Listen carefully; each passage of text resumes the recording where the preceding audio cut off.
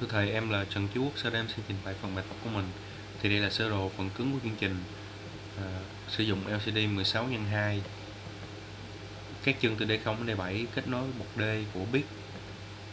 dùng để à, gửi à, tín hiệu điều khiển cũng như là dữ liệu ra LCD. À, ba chân điều khiển RS, RW và E kết nối với bọt E. Chân V chân VSS nối với mát chân VDD nối với nguồn à, chân VEE sẽ nói một biến trở dùng để chỉnh uh, độ sáng của LCD khối đếm sản phẩm sẽ uh, gồm một nút nhấn kéo điện trở xuống mát. Khi mà kết nối với chân T0 CKI có nghĩa là chân counter của Summer 0 thì khi mà chưa nhấn phím, có nghĩa là chưa có sản phẩm thì ờ, chân này nhận mức 1 chân này nhận mức 0 khi mà phím được nhấn có nghĩa là, có nghĩa là có sản phẩm thì ờ, chân này nhận mức 1 ba phím nhấn start, up và down, kết nối với bột B. Trong đó phím start nó với RB0 phím up nó với RB1 và phím down nó với RB2 còn đây là phần code của chương trình. Ở đây em sử dụng ờ, thư viện LCD của thầy Nguyễn Đình Phú trong giáo trình vi xử lý. Đây là file, đây là file thư viện LCD định nghĩa chân RS định nghĩa chân RW và chân ờ, E. Định nghĩa các kiểu hiển thị của LCD chương trình con LCD Command truyền vào mã điều khiển. Dùng để uh, điều khiển LCD truyền con ờ, uh, LCD data truyền vào mã hiển thị. Dùng để uh, uh, hiển thị dữ liệu lên uh, LCD truyền con LCD setup. Dùng để thiết lập cái thông số ban đầu cho LCD trở lại với file chính thì uh, đầu tiên uh, include file cái nguyện vào khai báo các uh, biến cần thiết easy giá trị đặt bằng 20 và biến T0 khai báo biến cờ ban đầu bằng 0 uh, ờ, khai báo mảng uh, hàng 1 rồi gồm dòng chữ giá trị đặt mảng hàng 2 dòng chữ là số lượng 2 chấm. Mảng đóng gói gồm dòng chữ ờ, đề nghị đóng gói và mảng ờ, xóa màn hình gồm các khoảng trắng. Định nghĩa chân ờ, định nghĩa chân start là pin B0 up là pin B1 và down là pin B2 bắt đầu chương chính à, khai báo biến D là bọc D bọc D là output. Ba chân start up down là input. Ba chân điều khiển RS RW và E là output. Bắt đầu vào vòng lặp vô hạn. While true đầu tiên ờ, gọi ờ, truyền con LCD setup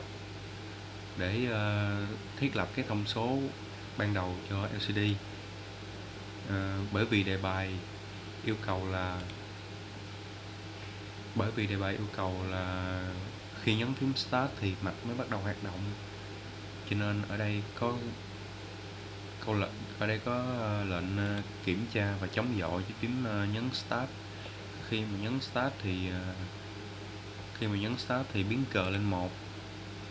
Biến cờ lên một thì kiểm tra nếu mà biến cờ lên một thì bắt đầu thực hiện các dòng lệnh các câu lệnh ở phía dưới.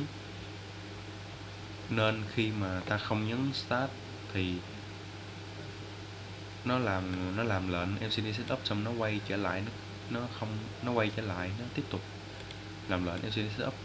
Nên khi đó khi mà vừa mới cấp điện vào thì LCD mặc dù à, được khởi động nhưng mà không hiển thị được chữ gì trên màn hình hết. Khi đó nếu ta nhấn phím à, start thì uh, biến cờ lên một biến cờ lên một thì mới bắt đầu thực hiện. Khi mà biến cờ lên một thì uh, thiết lập bộ đếm thiết lập uh, bộ đếm counter summer 0 à, xung, đếm xung ngoại à, kích cạnh lên. Bộ chia trước là chia cho một tức nghĩa là không chia. Thiết lập uh, giá trị đếm ban đầu là không. Thì trình tự thực hiện uh, trình tự thực hiện là đầu tiên cho hiển thị uh, hai hàng chữ hàng uh, giá trị đọc ở hàng thứ nhất và hàng số hàng chữ số lượng ở ờ, hàng thứ hai. Sau khi đã hiển thị hai hàng chữ lên rồi thì bắt đầu ờ, tới phần ờ, điều chỉnh và hiển thị giá trị đặt, cũng như hiển thị số lượng sản phẩm ban đầu là không lên LCD sau đó tới phần bắt đầu tới phần đếm sản phẩm và hiển thị lên LCD sau đó tới phần hiển thị thông báo nếu mà khi mà đã đủ số lượng sản phẩm thì đầu tiên tôi cho hiển thị hàng 1 hàng à, giá trị đặt lên hàng thứ nhất. Thì gửi à, địa chỉ, gửi địa chỉ à, đầu tiên của hàng 1 là 0.80 ra cho LCD comment sau đó vòng for đi từ 0 đến 16 hiển thị từng, hiển thị từng giá trị, từng phần tử trong hàng thứ nhất ra thì ờ, sẽ hiển thị được hàng thứ nhất lên LCD sau đó ờ, tiếp tục gửi ờ, địa chỉ đầu tiên của hàng thứ hai ra LCD comment cũng cho vòng là for đi từ 0 16 hiển thị lần lượt từng phần tử của hàng 2 bằng truyền con LCD data. Thì khi đó nó sẽ hiển thị được hàng chữ số lượng sản phẩm ra hàng 2 của LCD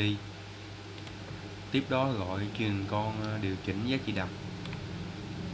thì đây là truyền con điều chỉnh giá trị đập đầu tiên ờ, thì truyền con này dùng lệnh do while đầu tiên kiểm kiểm tra và kết hợp với chống dội cho phím nhấn up. Nếu mà có nhấn thì giá trị đạt tăng lên 1 đồng thời kiểm tra phím nhấn down và kết hợp chống dội cho phím nhấn down. Nếu mà có nhấn thì giá trị đặt trừ đi một, bởi vì đề bài à, yêu cầu là giá trị đặt chỉ nằm trong dùng từ 20 đến 30 cho nên nếu giá trị đặt bé hơn à, min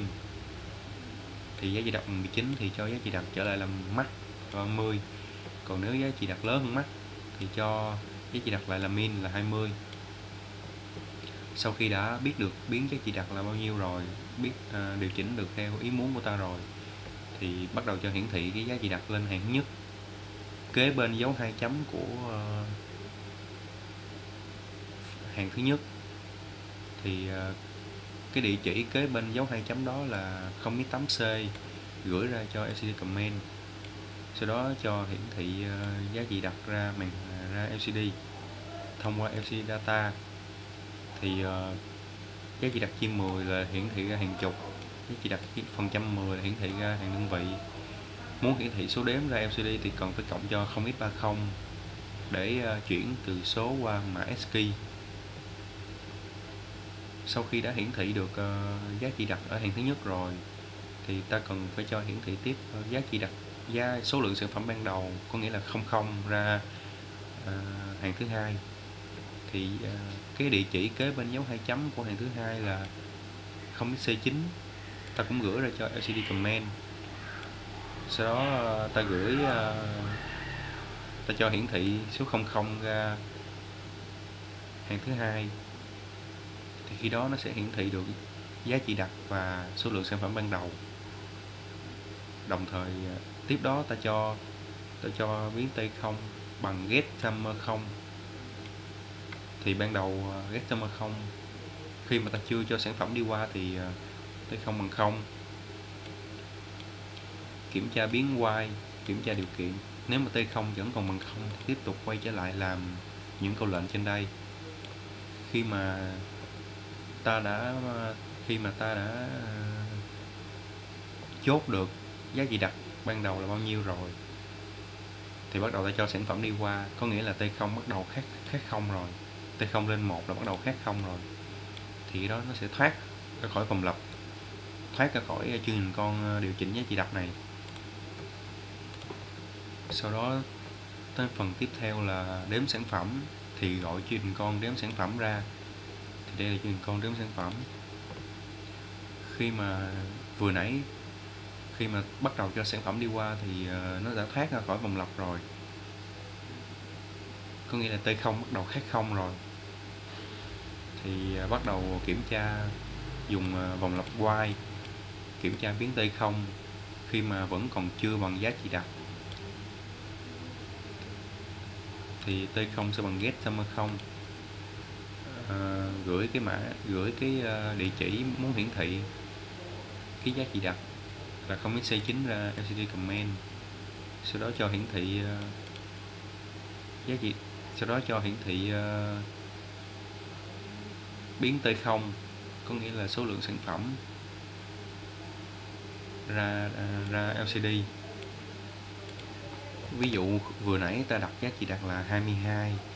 thì ta cho sản phẩm đầu tiên qua thì T0 lên 1 T0 lên 1 thì kiểm tra T0 khác T0 khác 22 có nghĩa là 1 khác 22 thì làm à, T0 sẽ bằng get summer 0 có nghĩa là T0 bằng 1 gửi ờ, số 1 ra ra LCD sau đó khi ta nhấn nhấn tiếp thì T0 lên 1 T0 lên 2 tiếp tục gửi số 2 ra LCD cứ thế khi mà T0 bằng giá trị đặt thì nó sẽ thoát khỏi vòng lặp này, nó sẽ thoát khỏi vòng lặp Y này và nó thực hiện lệnh ờ, xóa màn hình để chuẩn bị ờ, cho phần hiển thị thông báo. Sau khi mà giá, số lượng sản phẩm bằng với giá trị đặt ta đặt rồi, thì ta sẽ cho hiển thị thông báo đề nghị đóng gói ra màn hình LCD thì bằng cách ờ, gọi hàm thông báo. Ở đây ờ, em đặt hàm thông báo trong vòng lặp for cho G thì không 0 đến 5 với mục đích là để dòng thông báo, dòng ờ, đề nghị đóng gói đó nó nhấp nháy 5 lần. Thì đây là chương trình con ờ, thông báo. Cho bắt đầu ờ, hiển thị dòng chữ ở đầu hàng thứ nhất là 0.80 lần lượt, trong là trong là for cho lần lượt hiển thị từng từng từng phần tử trong mảng đóng gói sau đó delay 200 ms để ờ, cái dòng chữ đó nó nó hiển thị được 200 ms sau đó ta bắt đầu cho xóa mình cho ờ, xóa màn hình. Thì cũng ờ, thì cũng cho khai báo là bắt đầu xóa màn hình ở địa chỉ 0.80 lần lượt cho từng biến từng phần tử của cái mảng xóa màn hình ra LCD mà cái mảng xóa màn hình là khoảng trắng, thì khi đó ta sẽ xóa được màn hình. Đi lại 200 ms để nó tắt màn hình đi 200 thì khi đó cái dòng chữ đó nó sẽ nhấp nháy 5 lần. Sau khi mà nó nhấp nháy 5 lần xong thì nó quay trở lại LCD setup để nó thiết lập lại LCD để chuẩn bị cho lần đếm thứ hai. Ở cái lần đếm thứ hai này thì ta không cần nhấn start nữa, tại vì lần khi lần ấn đầu, lần ấn start đầu thì cờ đã lên một rồi thì lúc này cờ luôn luôn là một. Thì màn hình LCD luôn luôn được hiển thị. Khi đó ở lần ở lần đếm thứ hai thì ta cũng có, ta tùy ta tùy thích điều chỉnh giá trị đặt. Sau đây em xin mô phỏng chương trình. Đầu tiên khi mới cấp điện vào thì à, LCD không hiển thị gì hết ấn up ấn down cho sản phẩm đi qua cũng không không hiển thị. Khi mà bắt đầu nhấn và thả start ra thì bắt đầu cho hiển thị cái giá trị ban đầu. Khi mà nhấn up thì giá trị đặt tăng. Nếu mà bằng 30 thì quay trở lại là 20 khi mà nhấn down thì à, sản phẩm giảm đi một. Số lực, giá trị đặt giảm đi một khi mà bé ăn 20 thì bắt đầu cho trở lại là 30 ví dụ em cho giá trị đặt là 22 bắt đầu cho sản phẩm đi qua.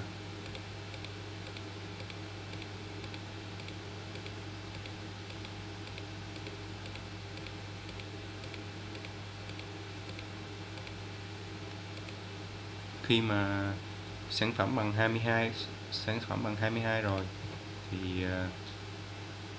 hiển thị thông báo đề nghị đóng gói sau đó quay trở lại màn hình để tiếp tục uh, lần đếm thứ lần đếm sản phẩm thứ hai.